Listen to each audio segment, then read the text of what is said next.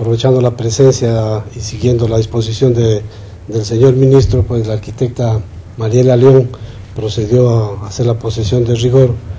eh, delante de todos los compañeros de la institución, eh, a quienes les he pedido muy comedidamente cuenten conmigo como un compañero la designación de Javier Ludeña Carrión se da luego de un acercamiento con el ministro del ramo, Pedro Jaramillo, quien luego de analizar su trayectoria y hoja de vida, encargó la dirección pidiendo al funcionario una gestión encaminada con las políticas del gobierno. Eh, la carpeta estuvo en el Ministerio de, Vivienda, eh, creo que unos dos o tres meses, y tuve la entrevista con el señor ministro, pues la analizaron, eh, luego una nueva entrevista y estamos aquí para servir a, a la comunidad, a la provincia, a los 16 cantones.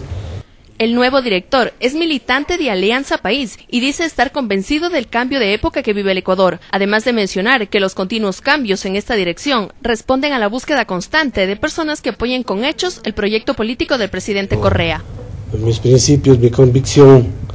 es de siempre, pues una persona con criterios, con convicción eh, de izquierda, es buscar los mejores cuadros, personas eh, que apoyen el proyecto político con hechos, con ejecuciones, no simplemente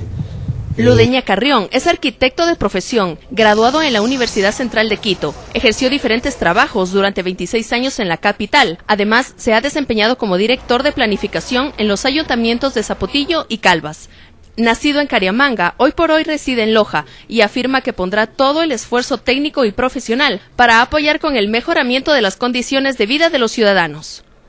Para Mundovisión, Claudia Román Galindo.